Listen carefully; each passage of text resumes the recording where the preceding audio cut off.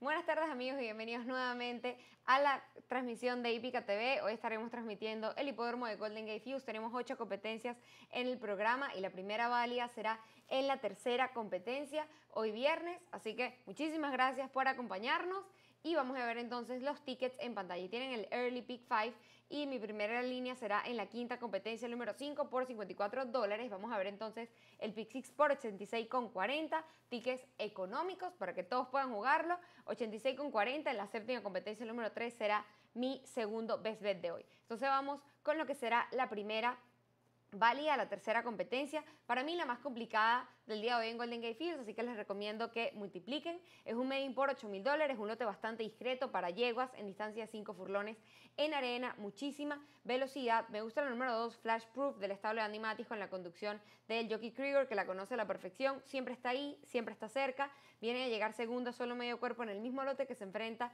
el día de hoy. Tiene 100% de efectividad en los 5 furlones y va de 3-2 cuando corre en la pista de Gulfstream Park. La va a acompañar con el número 4, que se trata de Capovino, el estable de William Delia con la conducción de Carlos Martínez. Viene a enfrentarse contra mejores, tiene 50% de efectividad tanto en la distancia como en la pista y debería de estar decidiendo. Buscando un poco dividendo, tengo a la número 9, Puppet Singer, es nieta de Pupit, muchísimo pedigree. Y a la número 7, Tis de Standard, es la que tiene más experiencia en la competencia y debería estar decidiendo. Pasamos entonces a la cuarta competencia del programa, la segunda válida que empieza el Pick 5 por 54 dólares, mi línea en la séptima del programa, un claiming por 16 mil dólares en distancia de una milla para yeguas. Voy a abrir con la número 3, Singing On, del estado de Jonathan Wong con la conducción de Ricardo González. Viene de ganarse eh, al lote prácticamente. Sube ligeramente el lote, pero la verdad no creo que le afecte. Ricardo González la conoce bastante bien es una experta cuando corre la distancia y se maneja muy bien, ya tiene ocho victorias en la pista de Golden Gate Fields, es una nieta de Tapit, muchísimo pedigrí como les dije antes. Su máximo rival número 4 es Splashing del estado Isidro Tamayo con la conducción de Yeye Hernández siempre está ahí, siempre llega cerca. Otra nieta de Tapit, hija de Tapizar, como pueden ver, bastante pedigrí. por último, la número 2, Right Side, del establo de Manuel Valdiva con la conducción de William Anto Giorgi. También viene a ganar un optional claiming, viene a correr en un lote superior, bajo la de lote. Si repite alguna de sus competencias, debería estar decidiendo. Pasamos a la quinta competencia. Acá empieza el Pick for el último ticket de la tarde por 13,80. Y mi línea será en la séptima competencia, el número 3, acá el número 5, como pueden ver.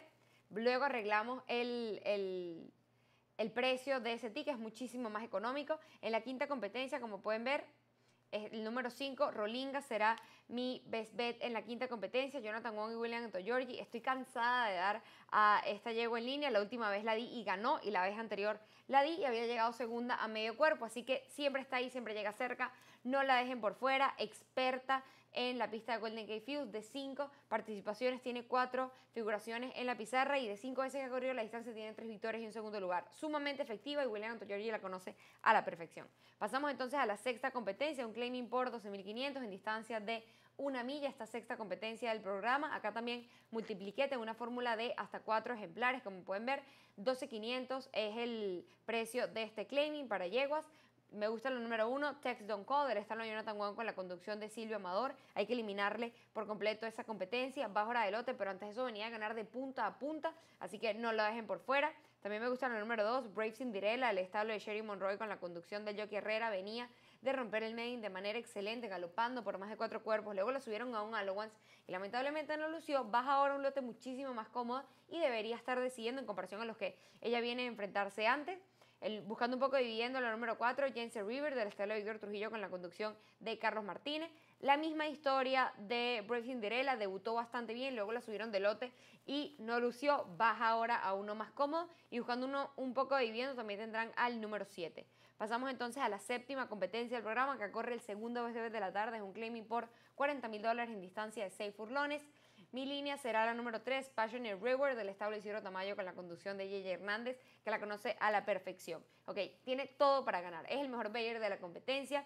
Viene de sus últimas cuatro competencias tiene tres victorias y en su último segundo lugar a dos cuervos en un lote superior al que se enfrenta el día de hoy. Tiene 100% de efectividad tanto en la distancia como en la pista Yeye Hernández la conoce a la perfección. Esta yunta, Isidro Tamayo y Yeye Hernández tienen hasta 38% de efectividad cuando corren el hipódromo de Golden Gate Fields. Me gusta el pedigrí, la verdad es que no le veo caída a este ejemplar, tiene todo para ganar esta competencia.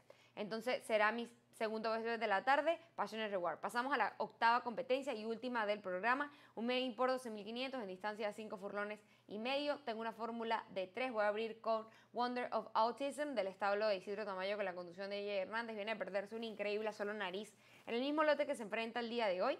También tengo a la número 5 que se trata de Usual Victory del establo de Clifford de Lima con la conducción de Alex Gómez y Jaula King del establo de Sherry Monroy con la conducción de Jockey Herrera. Así que 1, 6, 5 para mí en esta competencia. Ahí tienen otras los en pantalla, el Early Big 5 por 54 dólares, el Pick 6 por 86,40, el Late Pick 5 por 54 dólares y el Late Pick 4 que lo vamos a cambiar, luego se lo montaremos en las redes sociales con el cambio de precio. Así que amigos, muchísimas gracias por acompañarnos en este show de pronóstico de Golden Gate Fuse. Manténganse en sintonía a través de Ipica TV.